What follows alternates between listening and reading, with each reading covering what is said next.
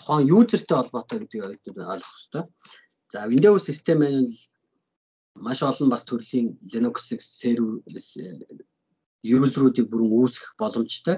За би хичээлийн лекцэнд хэлсэн. Зөвхөн одоо regular биш одоо сүлжээний домен контроллероор явдаг. За өөр тусгай зориултын юзерүүд маш олон хэлбэр байдаг. Тийм учраас юзер болгон дээр бол яах нь тусгай тусдаа нь heavy файлууд үүсдэг. Тэгээд тухайн юзерийг мөрдөгч бол тухайн юзертэй холбоотой heavy файлуудыг бид яах нь өрдөлтүүлж хийх ёстой гэсэн үг. За ингээд хэдүүлээ яах нь security болон policy гэсэн key heavy файл руу орж үзье. Энэ дотроос бид нар бол доменуудыг, доменийн утгууд, domain name, security policy гэдгийг бүрэн харах боломжтой. За энэ дээр бол одоо бид нар дээр ямар нэгэн домен контроллер, домен толгодож энэ машин маань ажилтгүй зөвхөн stand alone буюу зөвхөн хэрэглэгч а юу гэдэг keyboard-оос утга өгдөг. Иймхэн одоо орчинд ажиллаж байгаа хүмүүс энэ юм алга. Хэрвээ бид нар би өмнө ярьсанчлан доменд ороод доменоос тухайн хэрэглэгч маань дурын өөрийнхөө юзерээр ханддаг домен контроллероор хийгддэг. За Windows дээр Active Directory жишээ байна тий Active Directory явдаг.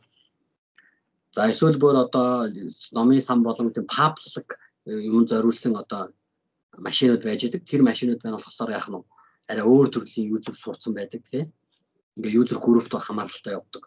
Гэг мэтлэн аргууд бол байдаг.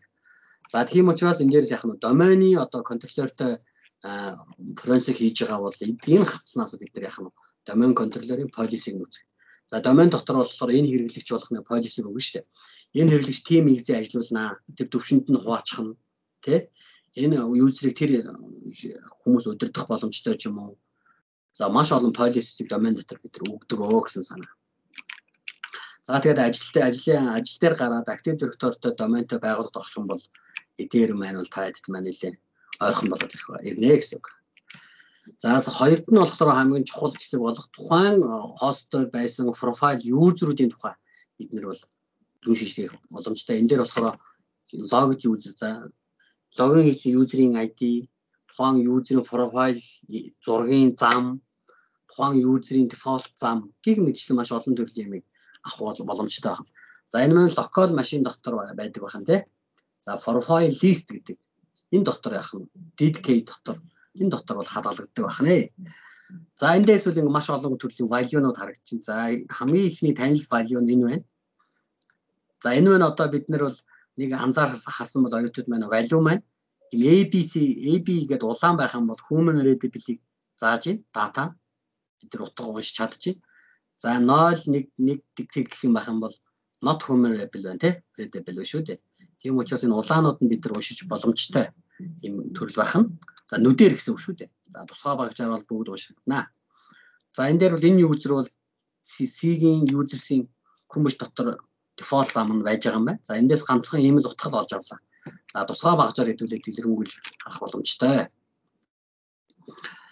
За тэгээд юзер болгон дотор байна болохоор policy group дотор хамаарах бүрэн боломжтой. За domain controller юм бол энэ бүр чухал яригдана. За group mode group-ууд маань бол бид нар мэднэ. Admin group, энгийн хэрэглэгч тий. Одоо маш олон төрлийн policy group өгчдөг. Юу ч хийж чадахгүй group зөвхөн үзэх тий. Зөвхөн дэлгэцэн дээр байгаа юм л ажиллуулах хэрэгтэй тийм user group үүсгэж болно.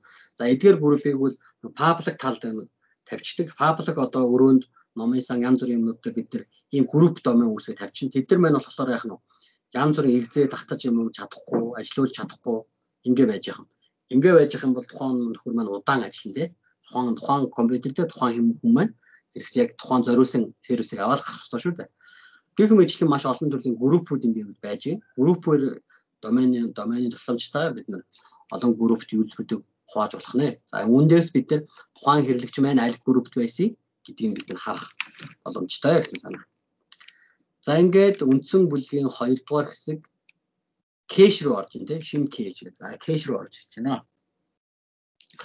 За кэш байна бол маш ингэж байж болно. Windows дээр бид нар бол харж исэн а тухайн exe скриптийг бид нар яах нь тухайн орчиндөө тааруулж ажилуулах юм compatible байдаг шүү дээ тий. За энийг одоо бид нар үзэх нь гэсэн үг тий. За энэний цаана бас систем дээр маш олон төрлийн heavy register файлууд үүсдэг байна. Энэ маань болохоор зүгээр бидний нүдэнд сонголт байгаа боо авчиг цаанаа бол register файлууд, кодын орчин, орчин үүсэх өөр kernel руу холбогдож байгаа шүү дээ. Энэ бол одоо маш олон олон төрлийн шийдлийг цаана агуулж идэг гэсэн санаа. За тэгэхээр Windows дээр болохоор тухайн экзээ маань юу гэдгийг экзээ маань ажиллах орчинг ханга нийцтэй байдлыг хангаж өгдөг. Тэгэхээр магадгүй Windows 7 зориул зөвхөн Vista зориулсан ингээ stable байдлаар хийцгсэн нэг экзээ байна гэх юм бол бид нар Windows 10 дээр ачаалах болохгүй байх юм бол яах нь Vista зориулсан хувилбар руу оруулж агаад тухайн орчинг нь үсгэж агаад тухайн экзээ скриптийг мань ажиллуулах боломжийг олгодог. За ерөнхийдөө энэ шийдлийг яах нь энэ кэш маань бол агуулдаг гэсэн санаа. За. За энээс гадна энэ кэш дотор бидний одоо хамгийн сайн мэдих яах нь одоо тухайн машин маань ажиллаж байгаад унтсны дараа дараах утгуудыг бас энэ дээр хадгалдаг байх нь л дээ. За эндээс хэдүүлээ үзнэ.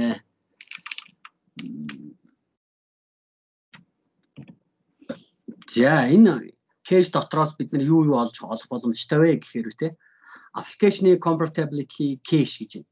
Тухайн exe script-д зориулсан за Windows дээр зөвхөн exe ажилладаг уу? За DDL файл script-д ажиллах боломжтой. За бат төрлийн файл ч юм уу маш олон төрлийн зөвхөн exe ажилладаг систем гэж ойлгож болохгүй. За тэгэхээр тухайн executable нөхөртэй холбоотой орчин бүрдүүлсэн compatible-ийн cache үүсдэг. Түүнийг бид харах боломжтой. Тухайн тухайн executable буюу script-тэй холбоотой ажиллуулсан зам, файлын нэрийг харах боломжтой. За цаашлаад стандарт information байна тийм. Стандарт MAC information-ыг харах боломжтой. Файлын size. За цаашлаад энэ яг систем дээр яг ажилласан уу гэдгийг харах ийм боломжтой байдаг бахнэ. За эдгээр ивэл бид нар энэ улаалуулсан app compatible cache гэдгээс бид харах боломжтой шүү гэж. За ерөнхийдөө бол Windows дээр график юзер орчинд бол энэ харагддаг. Бид нэр зарим оюутнууд нь хийсэн баг. За энэ дээр үл яах нь зөвхөн Vista-гийн Service Pack 1 зориулсан хөлбөр ажилдаг ийм нөхцөл бас байж идэг. Windows 7 8 зориул ажилдаг. За бүр нарийн ярих юм бол цаашлаад энэ Windows-ийн дисплей орчин байж идэг тийм resolution хэдээр ажиллахыг гэдэг. Энийг бас бид нэр тохируулах боломжтой. Гэх мэтлээ энэний цаана бол яах нь орчин үүсгэдэг орчингийн маань цаанаа регистр утгууд маань хадгалдаг гэсэн санаа ахнаа. За энэ шин кэштэй холбоотойгоор бол энэ сангийн сайенсаас гаргасан forensic түүлүүд байж байгаа. Эдгээр сонирхож үзээрэй. Маш олон төрлийн түүлүүдийг жагсаа авчихсан байна. Тэгээд яах нь фул түүлүүдийг маань нэг удаа ашиглаа сонирхоо үзчих дараа нь хэрэг болох юм бол хэрэгтэй гэсэн. За энэ төлөвүүдийг ашиглах болно. За цаашлаад за Python дээр бичсэн янз бүрийн нээлттэй shim cache fuzzer гэдэг юм байж байна. За бэлэн код нь байж байгаа. Энийг суулгаад бид нар яах нь үүнтэй холбоотой мэдээллүүдийг авах боломжтой байх нэ гэсэн үг. За саяны нөхөр бол яах нь энэ болохоор Python маань аа текст файлаар саяны нөө орчин хадгалж ирсэн нөхдүүдийг яах нь гаргаж ирэх боломжтой байна тийм. За тэгэхээр мөрдөгчтөн маань бол яах нь янз бүрийн кейсүүд гарч болно шүү дээ. Янз бүрийн кейсүүд гарч байна. Тэр кейс болгон дээр нь яах нь арга замууд нь байж идэг байх нэ гэсэн санаа. За энэ нөхрийг бол Андреевийн гэсэн юм Python код байж байгаа. Энийг байна сонирхож үзээрэй. Энэ маань болохоор яг системийн шууд системээс шим кейс дотор байгаа утгуудыг нөгөө утгууд байна бол уншигдахгүй одоо өөр утгатай байгаа шүү дээ. Тэгээ уншигдах боломжтой хэлбэл хөрвүүлээд гараад өгдөг. Ийм бэлэн Python скрипт байж байгаа юм байна. За жишээ гэх юм бол яах нь саяны шим кэш пазраар гаргасан тайлангууд байж байна тий. За нийт хэгцээ, хүү ама хэгцээ, пинг гих мэтлэн олон төрлийн хөтүүд ингээ байж байгаа юм гэсэн байна. За ингээд өнгөрсөн бүлгийн 3 дахь хэсэг болох common uptime registry гарч ирж байна. За нийтлэг автоматар ажилладаг нөхдүүдийн хотгыг хадгалдаг KU гэсэн үг тий. За автран бол бид нар бол маш олон төрлийн юм байж байгаа. За автран бол ер нь бас аюулгүй байдал мөрдөлтөй холбоотой. Хэрэглэгчийн хүсэл хэрэглэгчийн привилеж ирэхгүйгээр өөрөө ажилдаг. Магадгүй системийнх байж болно, магадгүй хорт код байж болно, магадгүй юу ч арай өөр юм байж болно. Тэгэхээр автоматар ажилдаг эдгээр нөхдүүдийг бол яах нь хадгалдаг кейуд байна л да. За ерөнхийдөө Windows антивирус маань бол автоматар ажиллаад байгаа юм нэлээ их хяндаг тийм. Яагаад автоматар ажиллаад байна? За за сүүл рүүгээ Windows 7-оос ахуулаад тухайн экзэг ажиллуулах заавал yes no гэдэг администратор шийдэл асуудаг тий. Заавал yes no гэдэг. Тэгэхээр яах нь вэ? Тэр бол бас нэг шийдэл байх нь шүү дээ. Энэ экзэг та ажиллуулах ихтэй байна уу гэдэг. гэсэн санааг цаанаа бол агуулгаа гэсэн санаа. Нөгөө талаараа ирэх өгч байгаа тий. За тэгэхээр үл систем ребут хийх үед бол яах нь вэ? Маш олон Windows системийг асаад унтрахдаа бол маш олон төрлийн автомат процессуудыг өөртөө агуулж идэг гэсэн санаа. За энэ автомат процесс дотор DDL файлууд байж болно, exe файлууд байж болно тийм. За эдгээрүүд маань болохоор системүүдийг хэрэглэгчд одоо ажлын бэлэн байдалд оруулах тийм системийн background сервисүүд байгаа юм шүү дээ. Маш олон төрлийн background сервисүүд байж идэг аа. За тэгээд мөрдөгч хүн бол тэгээд яах нь энэ системийн файл мөн байна, энэ биш байна, энэ с ิจ гтэй байна гэдгийг нь ялгах чадвартай болох хэрэгтэй байна л та. За. За ингээд хэдүүлээ үзье. Хамгийн одоо энгийнээр бид нэр бол яах нь таасаг таасаг менежер дээрээс стартап ингээд тохироо байж идэг эндээс нөгөө нэг автоматар гаргахаар асдаг. Систем асуугууд автоматар дагаж асдаг. Изээ нөхдүүд байж байгаа сервисүүд. За эндээс бид нэр бол хэрэггүй нүдэ хаажих бүрэн боломжтой тий. За ийм байж байгаа юм. За ингээд эдгээрийн тухай өдөр би үзэх нэ. За хамгийн эхлээд бол бид нэр Windows сервисийг үзнэ. За Windows сервис бол control panel-ийн administrator, Pro 5, түүл дотор ингээд сервисгээ байж байгаа. За Windows дээр бол маш олон төрлийн сервисүүд маань байж идэг. За одоо юу гэдгийг а бид нар принтер сервис юм хэвлийг гэж бодоход цаана принтерийн сервис байж гин тий. За сүлжээгээр юм тохируулж шеэр хийх шеэрийн сервис байж их хэвээр. Тэгэхээр юу гэсэн үг вэ гэхээр бидний хэрэглэгчийн дарж байгаа үйлдэл авч болго бодвол байж байгаа цаана хэрвээ тусгай програм байхгүй л ах юм бол цаана сервис ажиллаж байгаа гэсэн санаа. Background сервис тий. За тэгэхээр бид нар юм хийгээд байна гэдэг чинь цаана нь бол хөөрхөн хин нэг нь хөгжүүлсэн сервис кодууд ажиллаж идэг гэсэн санаа шүү дээ.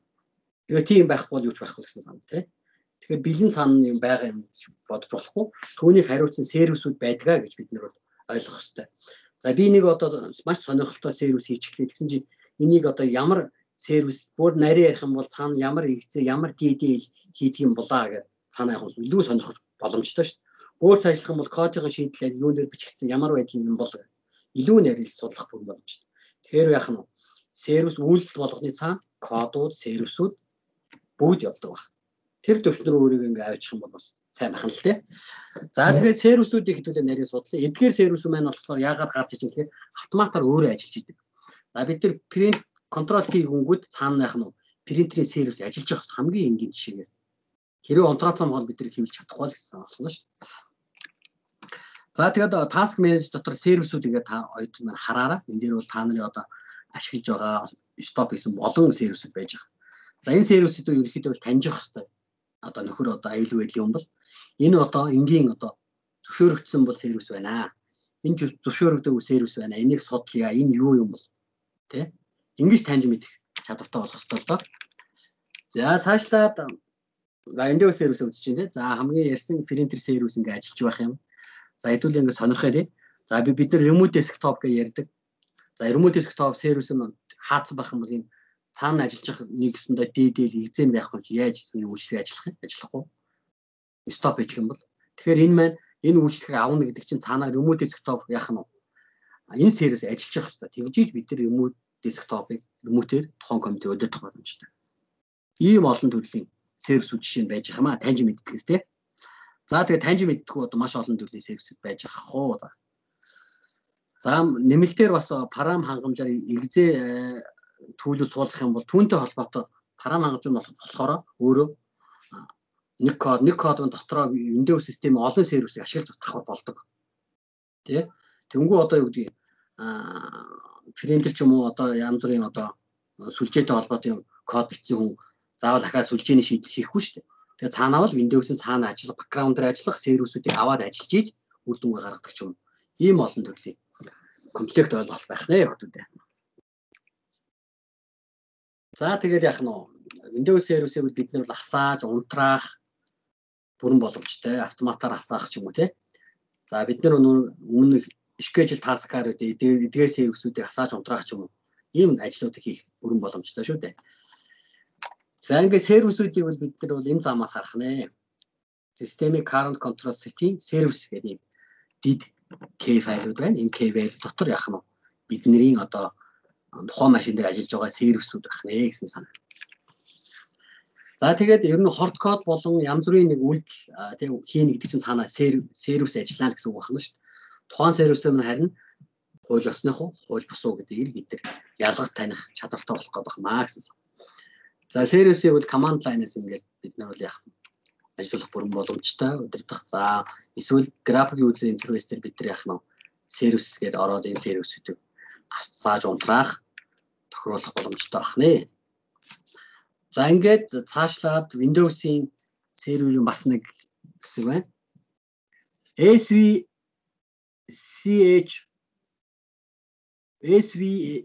SVC host гэх egzээ ингээд ойдор маань харсан баг. Энэ одоо ямар egzээ юм бол маш олон төрлийн egzээ ингээд ажиллаж ийдэг тийм background purchase дээр.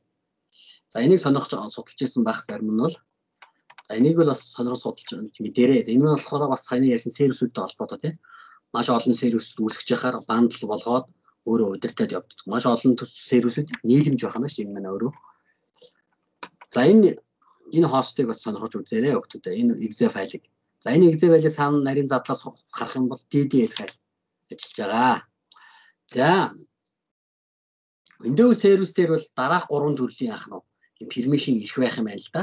Ер нь бол за local system гэдэг нь яг дотроо ажиллах одоо хамгийн одоо хүчтэй ирэх гэсэн үг тухайн системийг бүрэн ашиглах хянах боломжтой.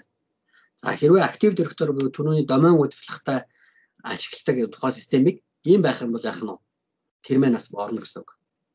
За тэгээд хакерд болохоор локал системийнхаа эрхийг алдах юм бол тэгээд бид нэр бүх юм алдчих гэсэн үг. Linux дээр яах нь root эрхийг алдсанаа адилхан гэж үзэх нь шүү дээ.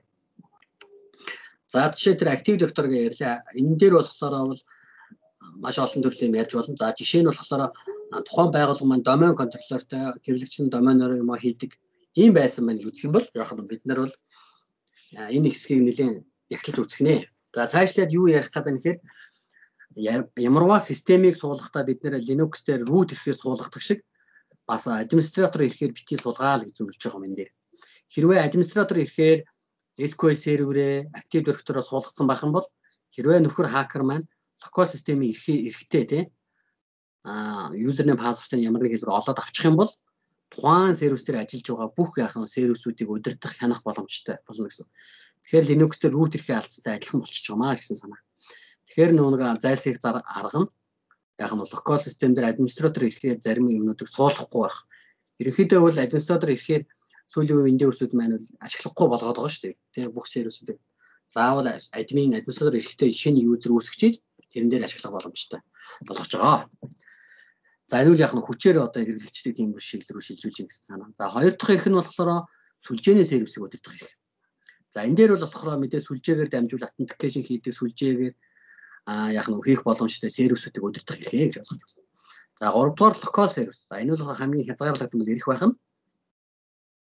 За би түрүү ярьсан нөгөө нэг нийтийн үйлчлэгээ яриад байгаа. За номын сан интернет кафенд тухайн компьютерүүд дээр тийм маш одоо яг нь хязгаарлагдсан ирэх өгчдөг. Хэдгээр сервис ирэх өгчих нь шүү дээ. Хэдгээр сервис дотроо хэвлэх хэрэгч байхгүй бүр тийм. Нэг л эрэхтэй тийм. Интернет Explorer юм уу эсвэл Google Chrome ашиглах хэрэгтэй. Тэгэл болоо. За ийм байх юм бол ийм ирэх. За энийг бол энгийнээр бол яах нь local system гэдэг бол админ дээр нэмэх сүлжээний ирэх. За сүлжээний ирэх network service гэдэг бол user дээр нэмэх тухайн нэг user тийм.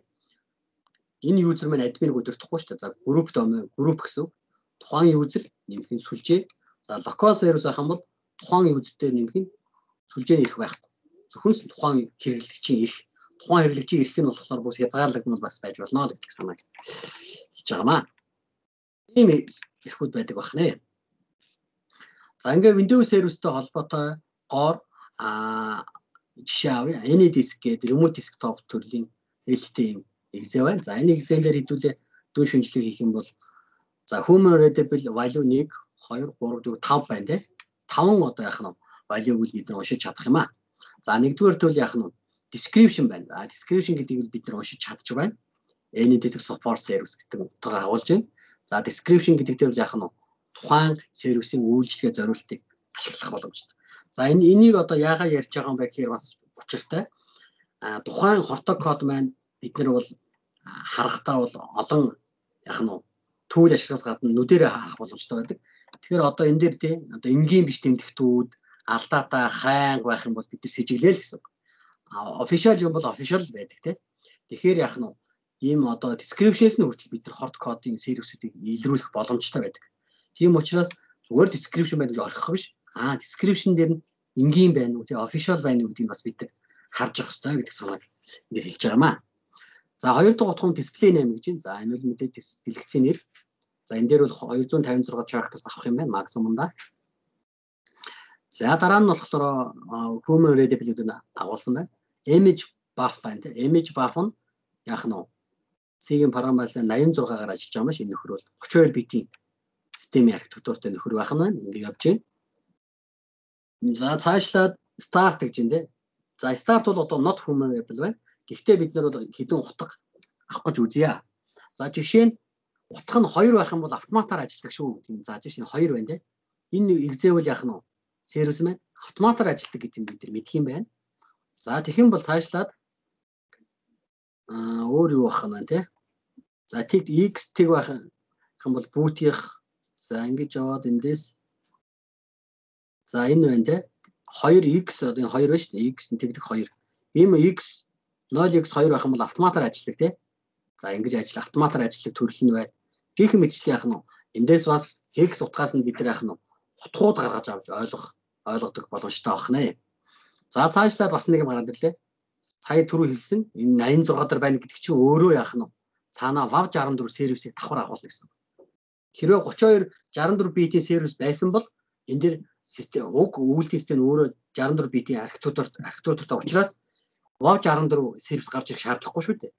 А энэ хүч өөрөө 62 учраас 64 32 учраас 64 дээр ажиллах тийм механизм байхгүй учраас яах нь дунд нь системийн механизм буюу WAV 64 байна өөрөө орж ирж ийж энийг яах нь 64 битийн систем дээр 32-ыг хэвэн ажиллуулж чадчихна. Оо ингээ бид нар яах нь утгууд авч чадчихна гэсэн санаа.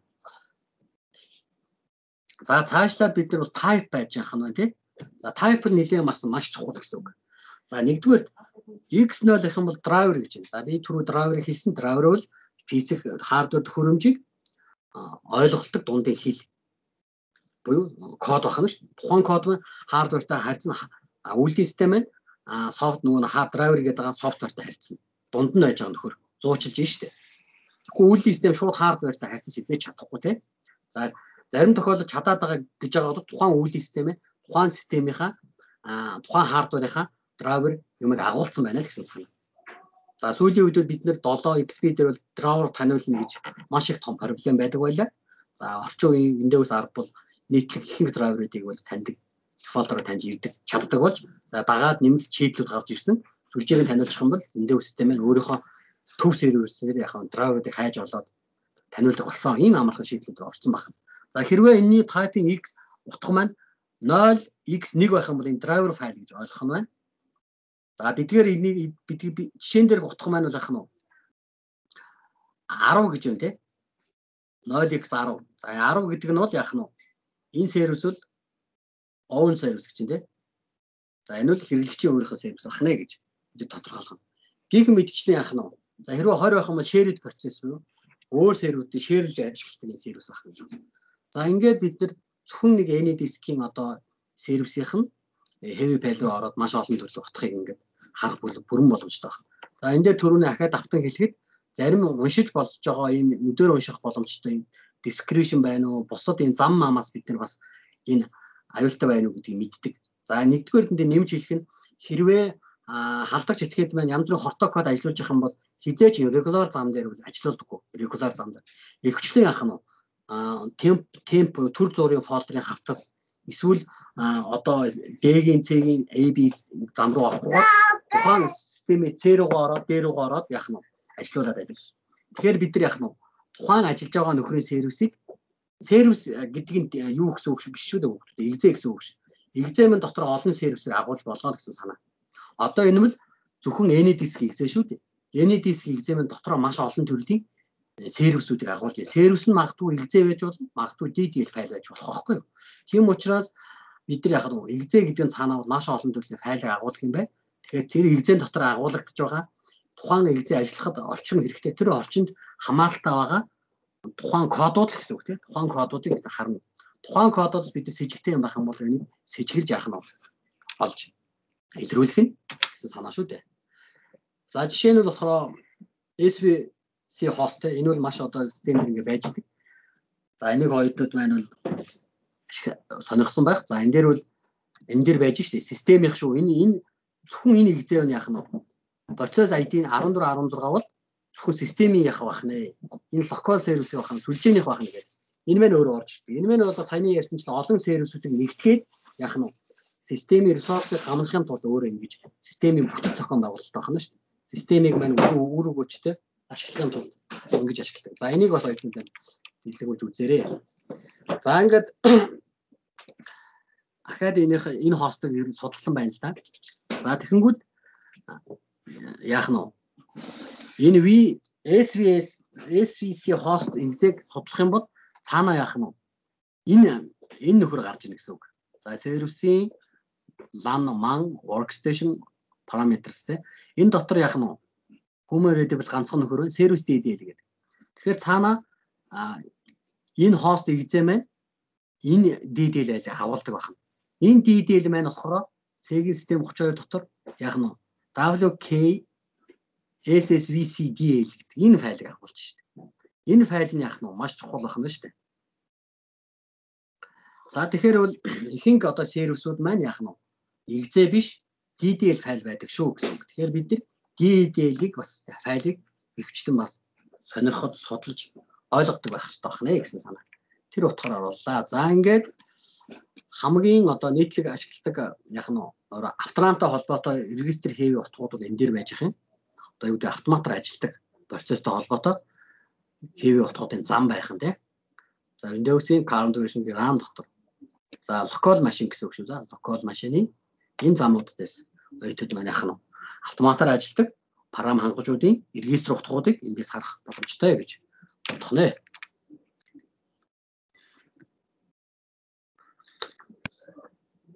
За тэгэхээр Windows систем маань одоо юу гэдэг user friendly байна гэдэг чинь өөрөө л цаанаа маш олон төрлийн сервисүүд ажиллаад байгаа гэсэн санаа аахгүй юу? Тэ? Хэрэглэгчийн зөвшөөрлгүйгээр л маш олон сервис цаанаа ажиллаж идэг. Энэ мэн Windows системийн нэг талаараа давуу тал, нэг талаараа сул тал болчиход байгаа. Угаасаа. Хэрэглэгчийн зөвшөөрлгөө маш олон сервис ажиллаж идэг. Тэрийг ашиглаад яах нь хорд кодууд орж ирдэг л гэсэн санаа шүү дээ. Үндсэн системийн архитектурын сул тал нь энэ болчиход байгаа. За тэгвэл энэ системийг тэгвэл тэрийг боловч хийх юм бол энэ user friendly байхаа болчих шүү дээ.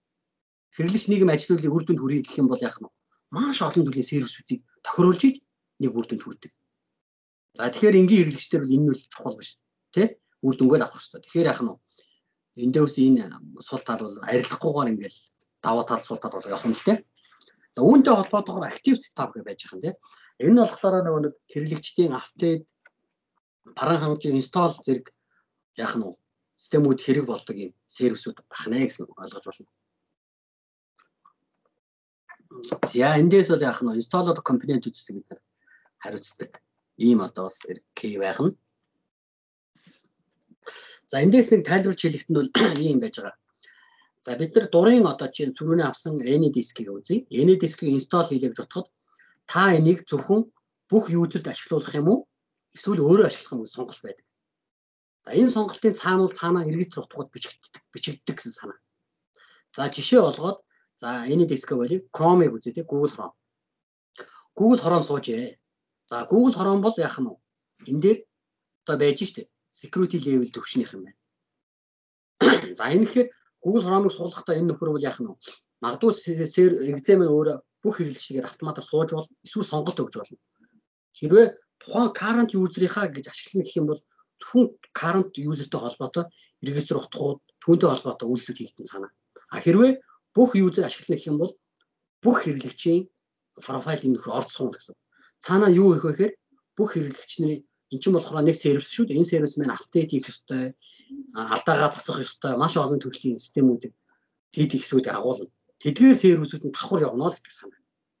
За тэгэхээр бид нар тухайн яах нь игзээ одоо юу гэдэг суулгахтаа зөвхөн өөрөө ашиглахад өөрөө суулгах зүг бахна шүү дээ. Ингээд бид нар яах нь цаанаа бүр нарийнда регистр хийв утгууд дээр утга бичигддэг юм байна. Ботлох баримт болдго юм байна гэдгийг бид нар яах нь ойлгож мэддэг байх хэрэгтэй гэдэг санаа. За энэ дээр бас тэгэхээр яах нь бид нар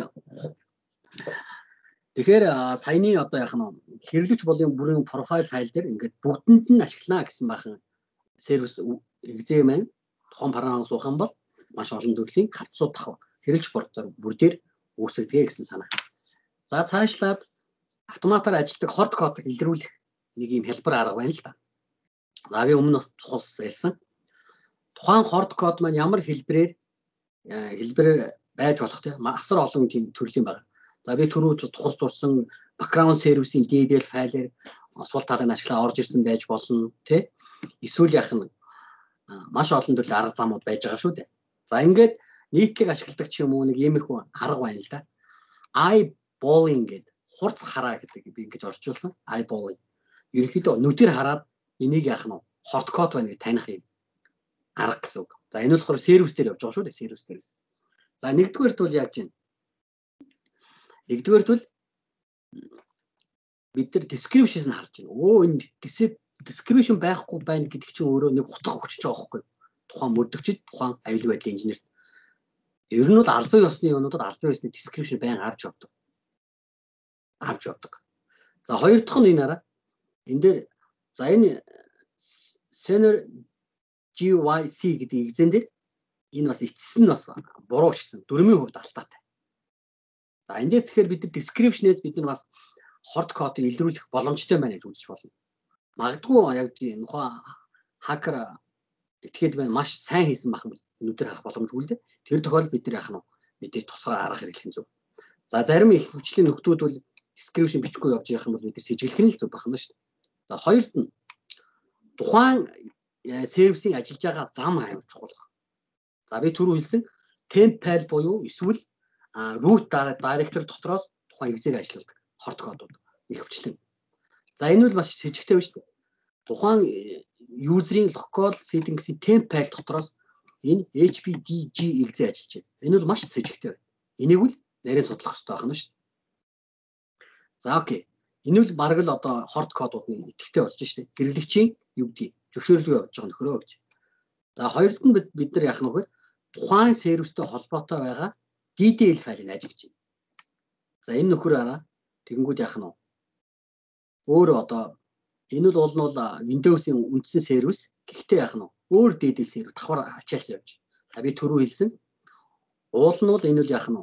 Дефолтороо бол Windows-ийн өөр DDL дуудах хэрэгтэй байтал өөр яах нь? Өөр төрлийн өөр болгоцсон DDL дуудаж явж. А энэ л сэжигтэй байх гэж харах нь байна. За дараа нь болохоор description дээр бас тийм монитород яг тэгээд description утгуудаас бид нар яах нь утга авч болно гэсэн санаа. За тэгэхээр бид нар тухайн экзээ, тухайн сервисийн утгуудаас ай болон буюу хурц хараа гэдэг аргаар яах нь илрүүлэх арга техник бас байдаг байна.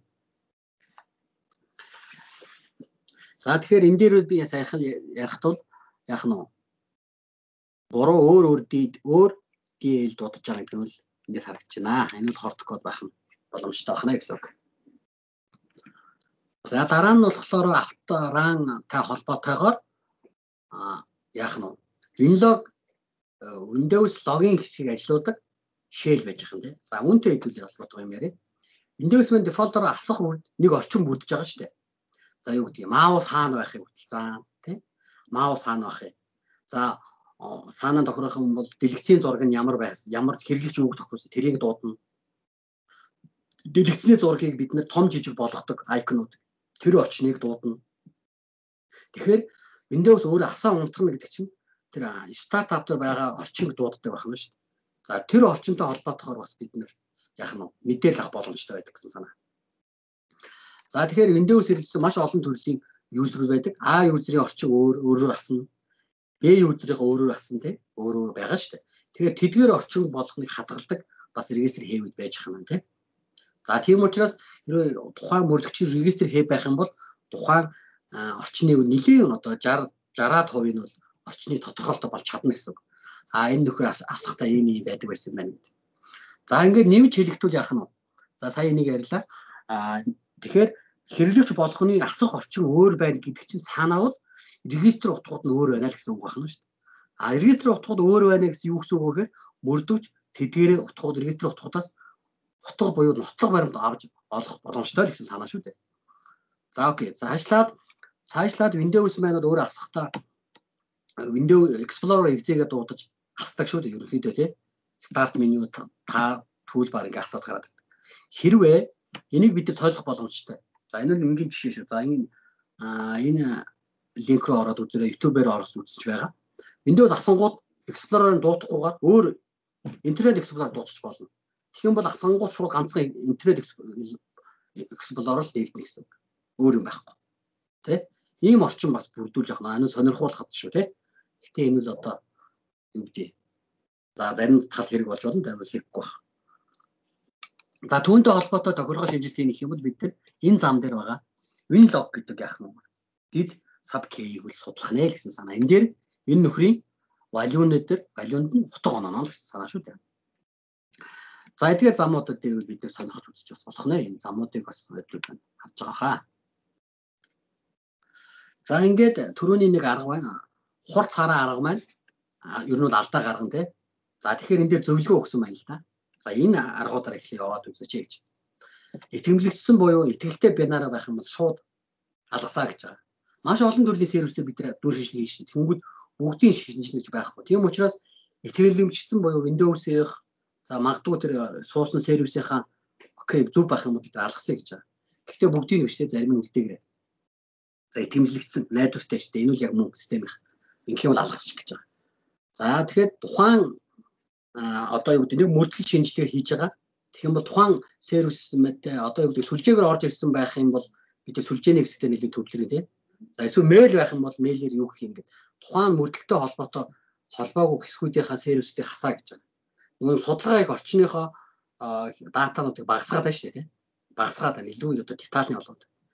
Тухайн сервис бол систем админ мэдээс за энийг энэ экзэг ажлууд ийм үр дүнд хүрсэн бол тим тим сервисүүд ажилласан байх ёстой. Тийм учраас энэ сервисүүд орохгүй энийг алгасан. Окей, энийг хий гэж байгаа. За гуравд нь болохоор яг ч халдагч этгээдүүд түрүү ярьсанчлан систем рүү дотор CD дотор ч юм уу тийм өвчний C дотор халдас үүсгээл цаанаа ингээ хийдэг үү гэсэн үг. Тийм учраас системийн дотрын CD хавцсан дотор бид бид нар нэг ороод шинжилгээ хийх шаардлагагүй. Харин түүний оронд файл систем root дотор анализ хийж байгаа. Одоо юу гэдэг D-гийн миний хэрэгтэй юм, миний хэрэгтэй, миний хэрэгтэй гэдгийг олон дэд хавц дотор үүсдэггүй л гэсэн санаа шүү дээ. За. Эхлэн темп файлаас үүсэх магадaltaй байдаг шүү гэж. За хүн цаашлаад бид нар өмнөх хичээлүүд үзсэн вирус тоотл буюу bit use гэх мэтлэн нөгөө нэг тухайн сервис файл дээр сигнатур буюу хаш утга өгдөг тийм. Энэ утгуудыг ашигла гэж байгаа. Энэ утгуудыг ашиглаад аа энэ үл яг яг окей энэ систем их зүг байна. Энэ өөрчлөлт орсон байна гэх юм бол тийм авч үлдэх юм уу. Ингээд бусад их сурвалжуудыг ашигла гэж байгаа. За тэгээ яах нь вэ? Бүр болохгүй байх юм бол системийг golden image-тэй харьцуулах буюу бүр одоо дефолтоор суудаг утгуудтай харьцуулж болно. Магадгүй одоо аюул төртсөн хост байж байгаа юм бол яг тухайн системийг ахаад шинэ өөртөө эсвэл боломжгүй өөр системийнхаа тухайн файлтай харьцуулж golden image. Тэгээ юу гэсэн үг вэ? Windows цаанаас нөхсөн image-тэй харьцуулаа гэдэг сан. Иймэрхүү харьцуултын арга шүүлтүрийн аргуудыг ашиглаад бид нэр авдун шинжлэх боломжтой шүү гэж хэлж байна. За дараа нь болохоор нийтлэг ашигладаг түүлүүд байна тий. За эдгээр түүлүүдийг ашиглаж үзээрэй. За над хамгийн таалагдсан нь бол энэ нөхдөв энэ сайтууд бол их таалагдсан. За мөн дээр Nextlator гараа явуулсан энэ дээр оруулаг байна. Sans-ыг бас санд болгож байгаа түүлүүд байгаа. Тэдгээрийг бас ороо шагаагаад үзчихээрэй бүгдээ. За мөн тэгээд Windows регистр өтсөн үзэж байгаа учраас зөвхөн Windows-ийн регистр зориулсан маш олон түүлүүд байдаг. Энд энэ түүлүүдийг ашиглаж сураарай. ойлголдог болоорой гэж хүсэх байна. За ингээд дараа нь болохоор үндсэн бүлгийн дөрөвдүгээр хэсэг болох 2-ын 4 орж ин тий. Энд шинэ яг ч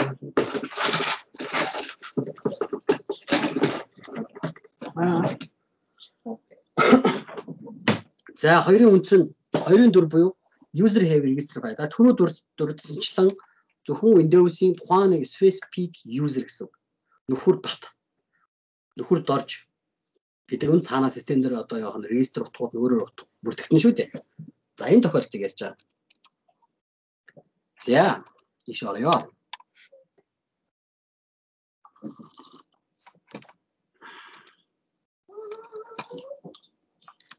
За.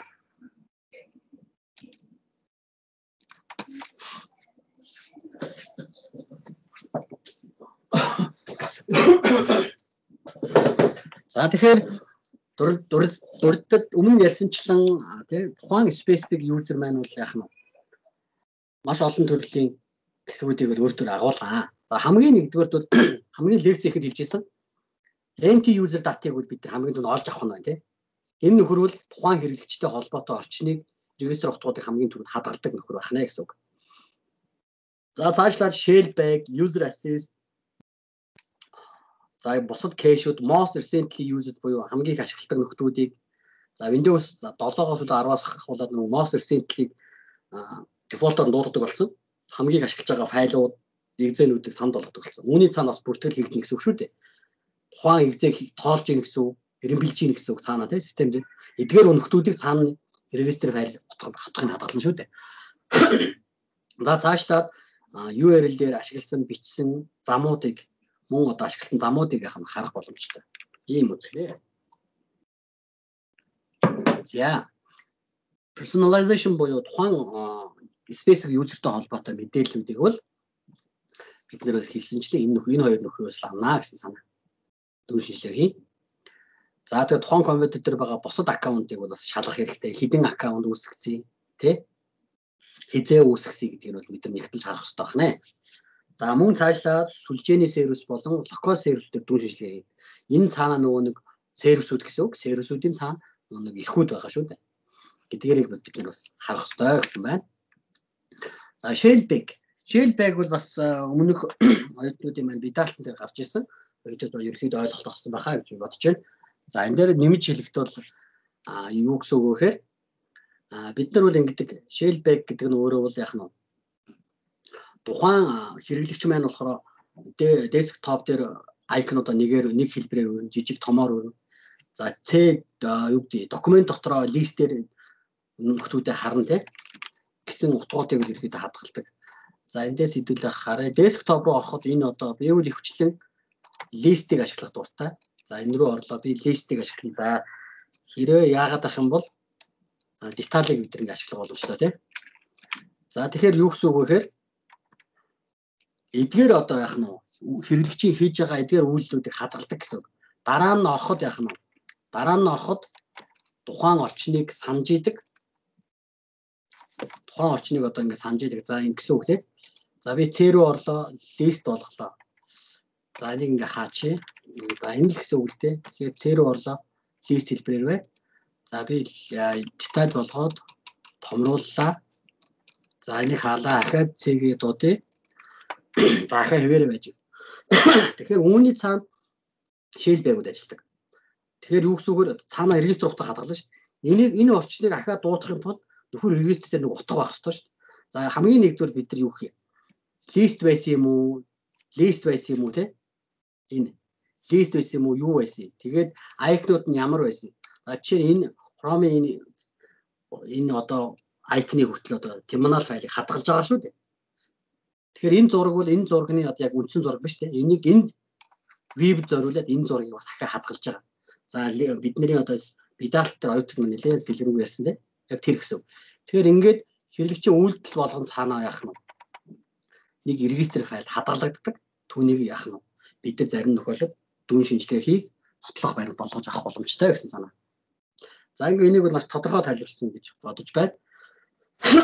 За энэ дотроос бид юу авч болох вэ гэхээр тийм тухайн хавтас устсан байсан ч тухайн утгуудыг санаж байдаг. Энэ хамгийн чухал байна. Тухайн нөхөр устгагдсан ч гэсэн яах нь тухайн хавтас байсан одоо нөө тембонал файлууд за ямар хэлбэрээр лист хэлбэрээр харж исэн юм уу гэдэг утгууд нь харагдана гэсэн үг. За. За цаашлаад бол хэрэглэгчийн яг хэрэглэгч бүрийнхэн профайл регистр түүнтэй холбоотой регистр мэдээлэл хадгалагдана. За тэгээд яах нь Explorer орсон нэвтэрсэн бүх замууд гэсэн үг. За цаанаа бол регистр утгууд маань бидний Explorer XC дээр дуудаж байгаа энэ клик хийгээд байгаа энэ нөхцлүүдийг маань хадгалж идэг гэсэн санаа тийм. Энэ хэрэглэгч маань ийм замаар орж ийм ажилууллаа. Боо ялангуяа нэг эрдээ ажиллуулах юм бол тэр нөхөн замыг бүрэн тэмдэглэж авна тийм. За цаашлаад access хийсэн огноо датануудыг бас хадгалж авдаг байна. За бид нар мэднэ modify access grade таймуудыг ахна авдаг байна. За тиймээс энэ historical record-ууд гэж хэлж байна. Эдгээр нөхдүүд бол яг нь мөрдөгчт нь бол бас маш чухал баримт нотлогоо өгдөг ийм төрлийн мэдээлэл байна. За ингээд сервер дээр байх нь маань. За Vista дээр байж хана тий. За энгийн хэрэглэгч нар бол бас кейсүүд гарч ирэх болно. За хвчлэн бас сервис Windows сервис байх юм бол бид нар бас эдгээр чухал сервис ажиллаж байгаа юм бол бид нар яг нь Windows сервисээ бас ингэж аюулгүй байдлыг хангах шаардлага бидний өмнө тулгарнаа. За энгийн хэрэглэгчийн одоо баримт нотлохоогүй шүүхтэр очоод батлаад ах нь өнөөгийн цаг үед бас хязгаарлагдмал байна. Хууль орчин бүх талаас. За ирээдүйд тийм болох байх. За одоохондоо хамгийн бидэд тулж байгаа нь бол хэрвээ Windows серверүүдэд таны байгууллага сервис явж байгаа юм бол бид тэр үүнтэй холбоотой мэдлэгийг бас авах хэрэгтэй. За тэгэхээр энэ нь яг давхар Windows сервер орж энэ дотор бол орж яваа шүү ойлгох нь баха. За Windows Shellback-ийн утга бол энэ дотор байж байгаа юм. За жишээ жишээ болгоод миний энэ нөхрийн одоо за Shellback за миний юзерийн за энэ нөхрийн desktop-ийнх нь бол яах нь Shellback утгууд байж те. За энэ дээр яах нь сортлох нь юу байсан бэ? За мод нь ямар байсан бэ? Logical view mode нь ямар байсан? Энэ дээр ингээ бүгд утгууд байж байгаа. Задлаа унших юм бол те. Тим тим утгууд оруулаа гэдгийг цаана регистр файлд утгуудыг нөхөр хадгалаад байна шүү. Windows Explorer хийгээ X дарж хахад цаана регистр утгууд дээр утга хадгалагдаж байна л гэдэг санаа. За үүнтэй Shellback-тай холбоотой маш их сонирхолтой ажлууд их байдаг. За ингээд бид нэр бүр гүнзгий судлах юм бол энэ дээр үл нь бүр дипломын ажил байж их юм. Shellback Investigation буюу мөрдөлтийн ажил байна. За Windows апдейттэй холбоотой бас нь ажлууд байна. За энэ линкүүдийг бас сонирхож үзээд явж болох нэ. За тэгээ төгсөлтийн ажил мэжлэлээр ч гэсэн бүр шил баяр ч юм уу бүр детал нь бас орж болно. Тийм учраас эхнээсээ одоо төгсөлтийн ажлаа 3 дугаар курсээс авахлаад нэг чиглэл рүүгээ мэрэгшээд нарийсаад юм судлаа явж явах нь бол гэмгүй баха. За Shellback-тай холбоотой бол юу байх нь? Түүлүүд бол байж тий. За энэ түүлүүд дээр бол яах нь? Энийг C үл хизээ орсон тий. Слот номер хамгийн сүүлд орсон. Энэ хавтсан шүү өөрөө. Энэ хавтас root хавтас руу орсон. За icon ямар хэмжээтэй юм? Тэ type нь ямар байсан? Vista type гэж юм. Гэх мэт маш олон төрлийн утгууд энэ хадгалж болох нэ гэсэн үг. За үн үүний цаанууд мөдөлтөөр юу хэлэх гээд? Энэ хавтт руу хэн хизээ орчвал гэдгийг харах гэдэг шин. Яа. За дараагийн арга бол user access register байна. За userтэй холбоотой.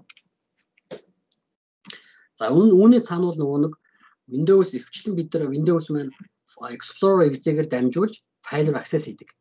За тэгэхээр бид нар Windows Explorer-ын бүрхүүлийг ашиглаад энэ дээрээс яах нь хэн ямар хэрэглэж хэн юу ямар хавц руу ороод юу ажиллав энэ тухай мэдэх бүр боломжтой байх нэ.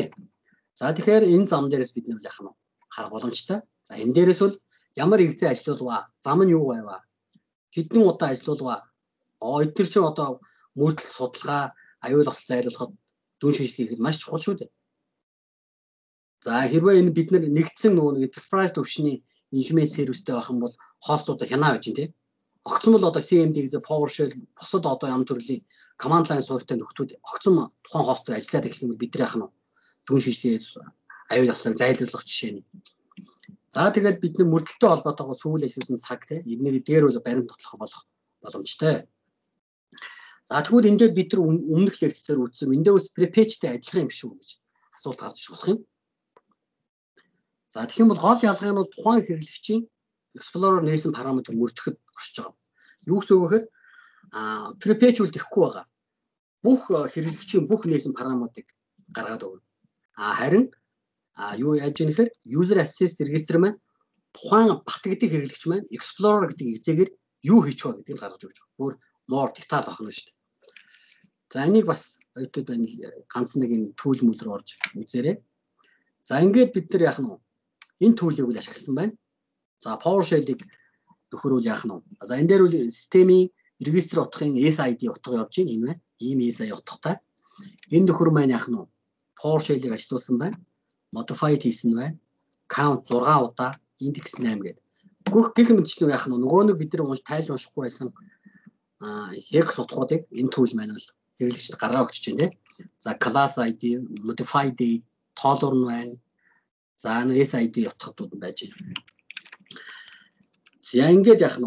Эндээс бол хин гэдэг тухайн хэрэглэгчийг бол олох боломжтой. За эндээс нэг юм слайд хийсэн байгаа. Тэгвэл user access register болон prepager хооронд харьцуулсан. Тэгэхээр яах нь вэ? Prepager бол зөвхөн нэг ямар хэрэгцээ хэдэн цагт ажилласан бэ гэдгийг гаргаж өгч байгаа. Тэгэхээр prepager prepager бид нар эхлээд ажиллуулах нь л дээ. Ямар ямар хэрэгцээний хостоор ажиллаж байгаа. Оо тэгвэл сэжигтэй хэрэгцээг оллоо. Тэгэх юм бол тэр сэжигтэй хэрэгцээгээ user access register утгыг аваад хин гэдэг нөхөр хэдэн цагт аль замаас ажиллуулав гэдэг нь more detail яах нь. Эхлээд яваа дараа нь user access heavy register утгыг ажиллуулах юм бол дараа нь зүг болох нь л дээ. За ингэж тий. Хаанаас бүр энэ дээр юу орно гэж дээ. RAN орно гэж байна. RAN RAN орох нь байна. За цаашлаад Windows Explorer орно. Start menu орно. А гэхдээ энэ нөхөр ганцхан яах нь command line-ыг бол оруулж чадахгүй гэж тийм. Command line. Command prompt CMD PowerShell-ээр юм дууцах юм энэ нөхөр мөрдөж чадахгүй нь л тийм. За ийм ялгаатай нөхөр байх нэ. А цаашлаад user дээр бол Internet Explorer URL за URL буюу нөгөө нэг тухайн хөтжийнхөө history гэсэн санаа. За бичигдсэн замуудыг бол харах боломжтой. Эдгээр замууд маань бол яах нь энэ дотор хадгалагддаг гэсэн санаа байж ахна шүү дээ. За энэ замууд руу орж үзээрэй. За хуучин Internet Explorer бол ийм байсан. Энэ дээр нэг юм доош нь drop down менютэй эндээс ингээ менюд нь харддаг байсан. За одоо ийм байхгүй ч гэсэн цаана эргэж цогтууд маань л орсон төгс түүхүүд нь хадгалагдж яадаг бах нэ гэж ойлгож болно. За ингээд үндсэн үндсэнгийн 3 дугаар хэсэг түүл рүү орж байна. За ингээд бүгдийг нэгдгсэн төлөвүүд байх юм бол rig repair чинь те. За Windows Register decoder гэх мэт төлөвүүдийг оюутнууд маань бол register файлтаагаар бол ашиглаж болох нэ. За single байх юм бол түрүүний нөгөө нэг кэштэй ажиллаж исэн байна тийм Python байсан. За Nerdsoft руу бас орж үзээрэй. Энэ дээр бас маш олон нээлттэйсээ хөөрх хөөрхөн төлөвлөж идэг. За ингээд энэ лекц манд өндөрлөж байна. Лекцээр register файл дүүжтэй ярьлаа. Тэгээ юм ойлгомжгүй байсан бэ гэсэн байна. Windows систем дээр өөрийнхөө ашиглаж байгаа Windows системээр register утгуудаар ажиллаж үзээрэй гэж байна. За тэгээд өмнө хэрэгтүүл register гэдэг утга бол систем юм байна, цөм юм байна. Хийгдэж байгаа үйлдэлүүдийн үндсэн утгыг хадгалж болдго юм байна.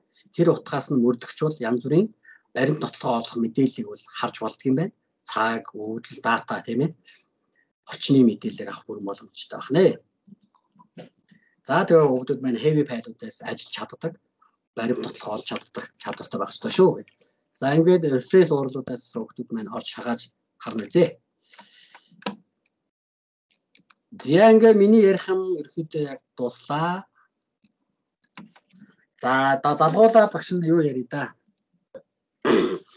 Шалгалт хоёрыг одоо шууд 10 цагаас өгнө. 10 цагаас өмнө асуух асуулт байна уу? За өнөөдрийн лекцээс асуух асуулт байна уу гэдэг те. Би даалтаа яах вэ? Би даалт яасан. Дууссан биз? Дуусаагүй шүү дээ. Дуусаагүй. Дуусаагүй шүү дээ. Оо би даалтаа нэрээ тэгвэл үржүүлэх юм биш тий. Би нэр хэдэн хөлт үлдсэн байгаа хөө. Тэгээ сүүлийн дамжаагүй. За яах вэ? Шалгалтаа тэгвэл хойшлуулчих уу? орой оройгоор тавьчих уу? Юу гэж бодож байна вэ тий? Бидалт нэр дуусах байх шүү дээ. Би дууссан гэдэг амбуурчихсан байж тээ нөгөө хичээлтэйгээ. За бидалт бидалт хэдэн хүүхд 310 биш.